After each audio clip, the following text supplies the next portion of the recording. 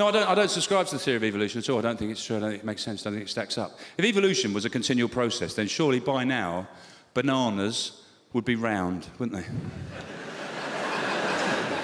or straight. I don't know which way they were going. They're either going that way or like that. Maybe going back round the other way. Who knows? Yeah. Frogs would have made their mind up. Lake or land, time to choose. You know?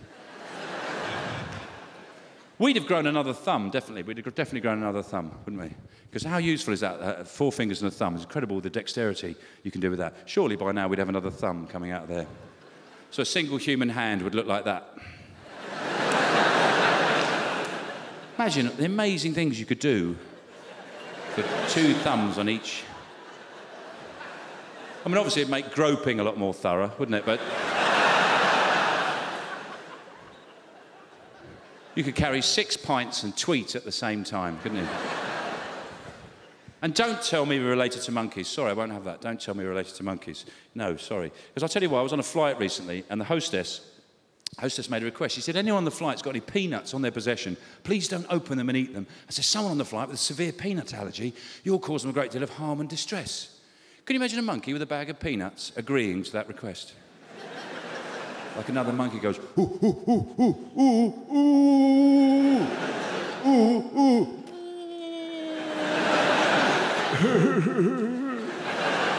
that monkey would do whatever the monkey equivalent of fuck off is, wouldn't it?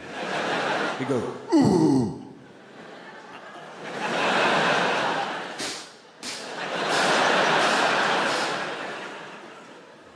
Because they're bastards monkeys, they don't give a shit about each other. If one monkey's ill, his neighbour doesn't come around and see how he is. He tries to have sex with his whole family. if you could explain Jimmy Savile to a monkey, they'd see him as a role model. Horrendous creatures. We're not related to them. And also, I've never seen an episode of Who Do You Think You Are, which goes right back to the monkey ancestors, so I rest my case. I accept I'm not a scientist. I know I'm not a scientist. But what is a scientist? It's just somebody who thinks about stuff, then chooses to back up their thoughts with evidence and facts. Only difference between me and a scientist. I don't feel the need. I'm not so insecure. I need to back up what I say. I just say it. There. And I've been forced into this position by my children. I've got three children, three young children, and they ask me questions all day long about everything under the sun, you know. And I don't know a lot of stuff. I really don't, you know. I don't. I don't know. I, I read a lot, but usually when I get to the interesting bit, I remember something embarrassing. Go. and they ask me questions about science and things like that. You know, for a while, I thought a house was being haunted by my old physics teacher. And he's just going around the house going, ooh. Ask your dad about magnets.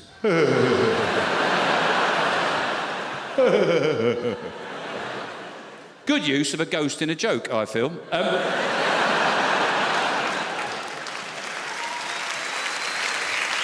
thank you. And they'll come up to me and ask me about magnets and gravity. No, I don't. I can't explain them. But I don't like saying I don't know. Beats me. Ask your mum. It wears away at my self-esteem. So I just lie. I make shit up. You know. And they'll say magnets. I'd go, well, magnets. Um, you know when you go to school in the morning and some kids you're pleased to see, other kids you're not that bothered about. Metal's a bit like that. they're happy with that, you know. Uh, gravity, gravity. Oh, yeah. You know when an apple falls out of a tree, it creates a force that sends the birds up in the air. Because apples are heavier than birds, as we all know, because birds are made of feathers. Everyone knows that solid feather right the way through. And the Earth's got a core. That's right, it's got a core. It's trying to get all the apples back. to make cider for God. That's right, yeah. a verb, a verb, I think that's an old Cockney word for a tenner. Yeah. yeah, that slag owes me a verb.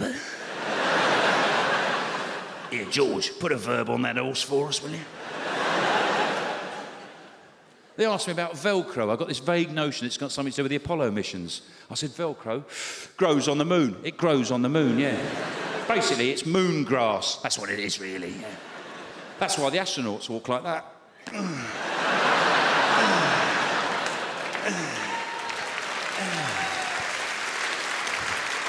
I just don't know. I don't even, I don't even understand how yogurt works. I don't understand it. It's off and it's got bacteria, but it's good for you. What the fucking what? dry cleaning. I've been going to dry cleaners for years. I don't know what the fuck they get up to in there. I don't know.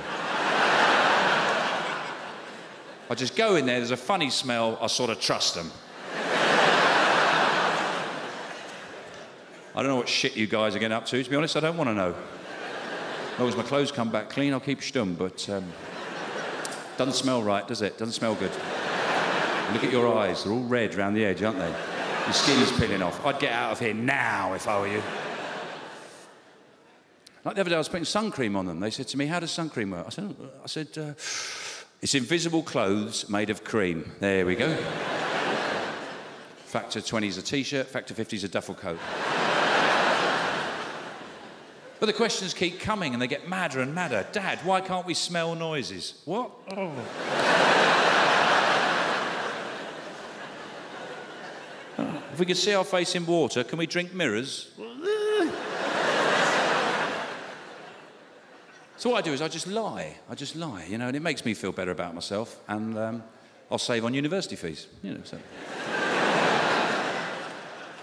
But there's a theory of parenting that you should never lie to your kids. You know, there is a theory that you should never ever lie to your children, apart from Father Christmas, the tooth fairy, and how hot the food is. You know, which is. It's fair enough, isn't it? If they've been giving you a difficult day, it's a bit of payback. Those fish fingers, yeah, they've been out for a while now. Yeah, work away on those, yeah.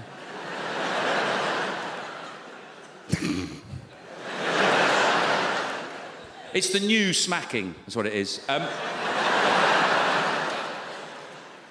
It's perfectly legal. They can't touch you. I've checked. but there is a theory, apart from that, you should never lie to your kids. Now, I lie to my children all the time. One night I was putting my daughters to bed. She said, Daddy, are there monsters under my bed? And I said, Yes.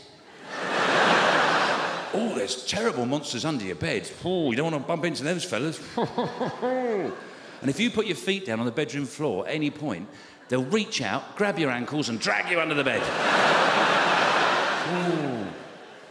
And they'll take you off into like a labyrinth of turds and wasps. Ah. and he's on duty till seven o'clock in the morning. Seven o'clock. seven o'clock. Seven. So if you wake up quarter to seven, just wait 15 minutes before you come and disturb your mummy and your daddy. In fact, I think he's, he's coming on duty now. Oh. Stay on the bed. Stay on. Uh, get out of it, you. Uh, stay on. Pass me, Mr. Tiddles. Get out of it. You. Stay on the bed. Stay on the bed. Good night.